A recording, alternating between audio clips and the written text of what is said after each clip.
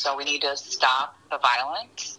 We need to stop the silence in order to let our loved ones and our children live, work, and play in a safe environment. An uptick of violent crime in Flint has the entire community hoping for better. With an increase in fatal and non-fatal shootings, Julie Lopez with Crime Stoppers urges witnesses and victims to come forward. But also, if they're on the fence at all about why should I even get involved, think if it was your family.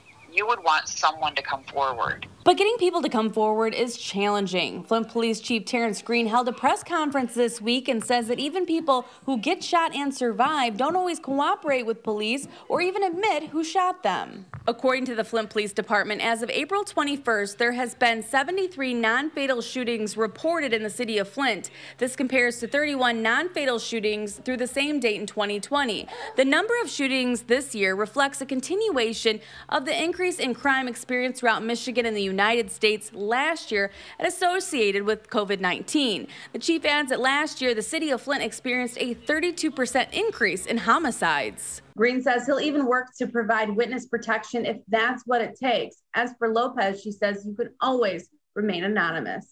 The people who have information about crime, obviously we want them to go to the police. But for whatever reason, they don't want to do that or can't do that or think that they can't do that, that Crime Stoppers is 100% anonymous. In Genesee County, Rachel McCrary, WNEM TV5. If you have any information related to the recent shootings in Flint, call Crime Stoppers anonymously at 1-800-422-JAIL. If your tip leads to an arrest, you could earn a cash reward.